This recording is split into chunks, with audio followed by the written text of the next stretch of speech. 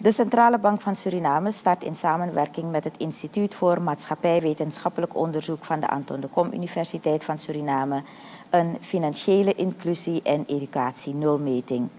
Nancy Hernanden is coördinator van de nulmeting Financiële Inclusie en Educatie. En die kennis dat je vergaard hebt, ga je inhoud.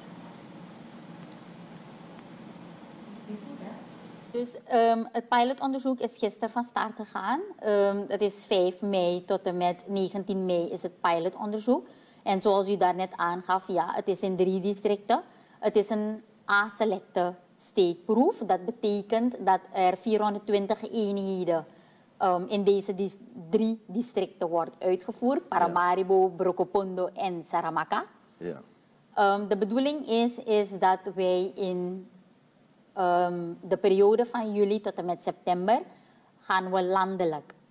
Um, dat is in alle tien districten, maar het zal ook een steekproefonderzoek zijn. Ja. Maar dan zal er een, de 3577 eenheden zullen we dan in, uh, dat, um, in die periode meenemen.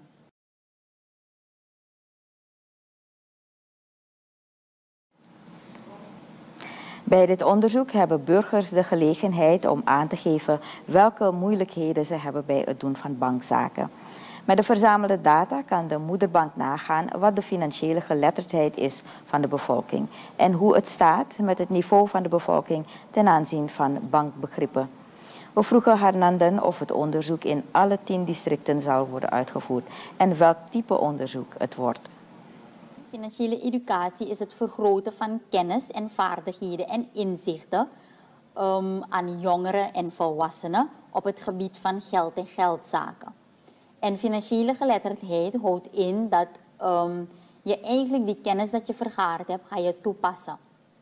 Om wel, over, wie, wel overwogen financiële keuzes te kunnen maken.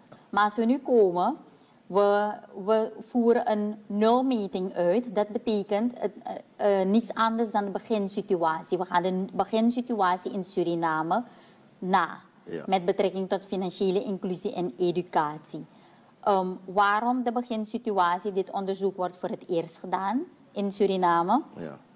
En um, je wilt data verzamelen om na te gaan wat de knelpunten en hiaten zijn op dit gebied.